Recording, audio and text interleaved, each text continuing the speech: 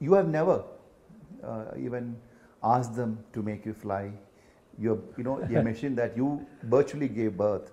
Do you think that, you know, at any point of time, yes, if, if they would have given uh, or invited, you would just wanted to get an experience of flying in You I'm an aeronautical engineer and uh, I look at aircraft in totality.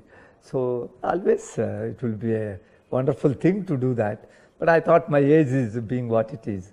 It But there are people who are older too than you have flown in uh, not. Maybe, but it could be a challenge for people to uh, agree to my flying. But that is my answer. But you are confident, isn't it? I have no problem. so if uh, tomorrow, if uh, there is a, I don't want to call offer, there is an opportunity, will you grab it? Oh, surely.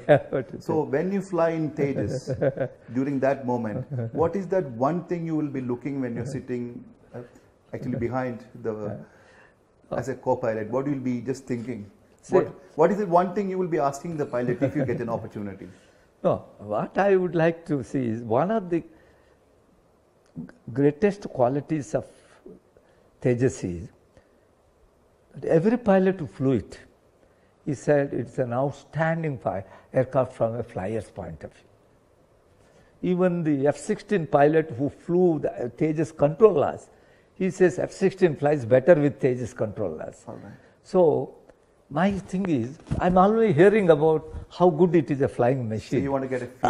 That's right. It is only uh, what you call external inputs. But uniformly, I got this right from my first pilot to the present who are flying now the squadron there. They always praise that it is an outstanding aircraft to fly.